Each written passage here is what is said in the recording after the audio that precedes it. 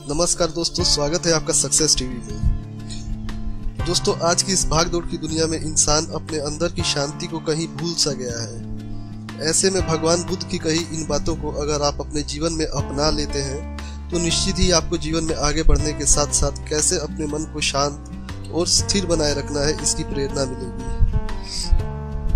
दो या तीन मिनट की इस वीडियो को पूरा देखने की कोशिश कीजिएगा। क्योंकि अच्छी बातों को सुनने के लिए वक्त निकालना हमें जीवन में और अच्छा करने में सहायता करता है।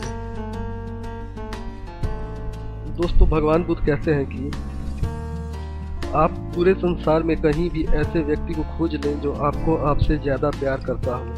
आप पाएँगे कि जितना प्यार आप खुद से कर सकते हैं, उतना कोई और आपसे नहीं कर सकता। हम अपनी सोच से ही निर्मित होते हैं, जैसा हम सोचते हैं, वैसे ही हम बन जाते हैं। जब मन शुद्ध होता है तो खुशियाँ परछाई की तरह आपके साथ चलती हैं। क्रोध करना एक गर्म कोयले को अपने हाथ में उठाकर दूसरे के ऊपर फेंकने के समान है, जो पहले आपका ही हाथ जलाएगा। जिस तरह एक मोमबत्ती की लो से हज़ारों मोमबत्तियों को जलाने पर भी उसकी रोशनी कम नहीं होती, उसी तरह से एक दूसरे से खुशियाँ बांटने से भी खुशियाँ कम नहीं होती, बल्कि बढ़ती ही है।